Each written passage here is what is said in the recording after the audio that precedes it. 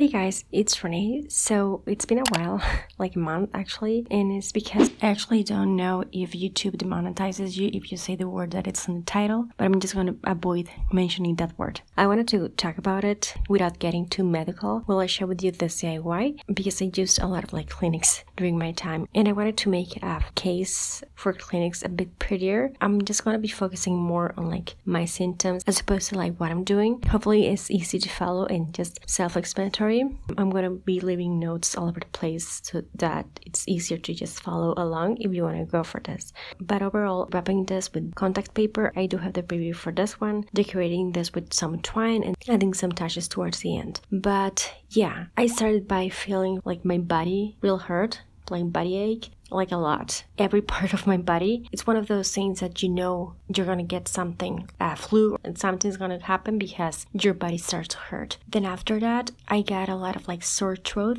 like a lot of it, and I was feeling really, really tired. I usually don't take like naps in the afternoon, and by now I was taking a lot of them. I would just fall asleep like randomly. When I woke up, I was just still feeling tired. I was sleeping a lot, like feeling tired but restless, you know what I mean? But what made it worse is what happened then. My ears started hurting a lot, like a lot. Every time I wanted to drink some water, every time I wanted to swallow my saliva, eat, it would just be so painful to just swallow basically. It was so so so painful like so much so that at some point i didn't want to eat a lot i didn't want to drink water. If i had saliva i just hold it in there that is really gross. I know it sounds really gross and it's really bad but it was real painful to just swallow. I remember that i would just close my eyes because the pain was so bad and it was so painful to just do that. I was living in acne at that point because i couldn't eat i couldn't drink. My body was like hurting a lot. I was sleeping like a lot. I don't know i was just tired all of the time like a lot. I also got a runny nose, hence me using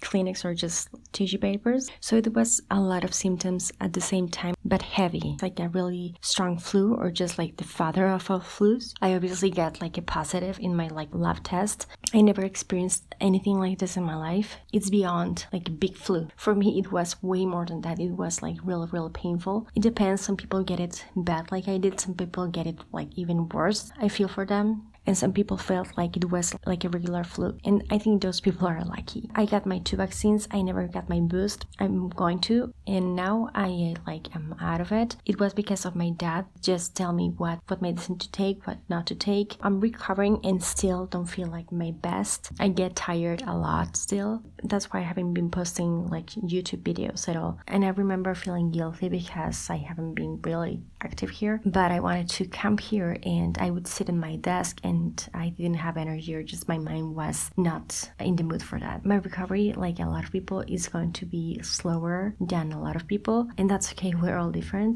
Like energy levels, like I used to have them, is gonna take a while for me. I mean, I've never been like the most active and uh, like energetic person in the world, but I don't feel like 100% yet. But I'm, you know, slowly but surely getting there.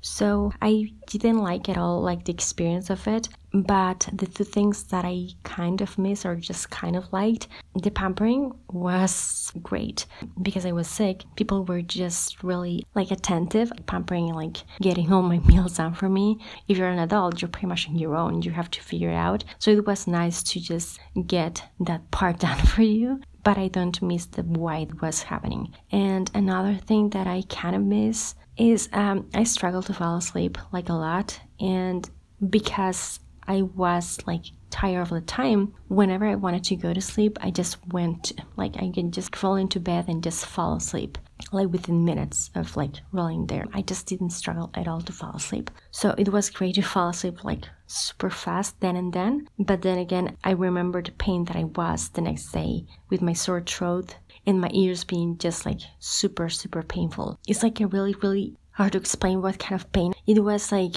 someone was from like the inside of my ears, someone was like compressing them, sort of. Not even that, I don't know how to explain it. But hopefully, I never experienced that kind of pain in my life again, and hopefully, you don't either. Still not 100% though, but hopefully, soon we're getting there. But yeah, after a month, I wanted to say hi to you again. I'm kind of back, hopefully, and I just wanted to say that if you're going through this, you get this. Um, it's gonna be better, you're gonna feel better soon. Take like a lot of water. I was eating a lot of like oranges and apples or if you have a flu or just anything else, hopefully you feel better soon. But yeah, I wanted to talk about it and get it out of the way for my next DIYs. But yeah, hopefully this was helpful. Maybe you can relate to uh, my symptoms and hopefully you like this DIY. I made two options. One plain, which I feel like is the one that I would go for if I were to use this for like home decor all year round. But since I'm not, I just use these kinds of things when I have a flu. I wanted my box to cheer me up for some reason. It's really weird. I just wanted to read Get Well Soon just because I wanted to feel better when I was really feeling bad. You know what I mean? Every time I just used like a Kleenex or whatever, I just wanted to feel better and I just wanted to read uh, Get Well Soon. But yeah, thank you so much for watching. I really hope this was helpful and handy. Take care and I'll talk to you later. Bye.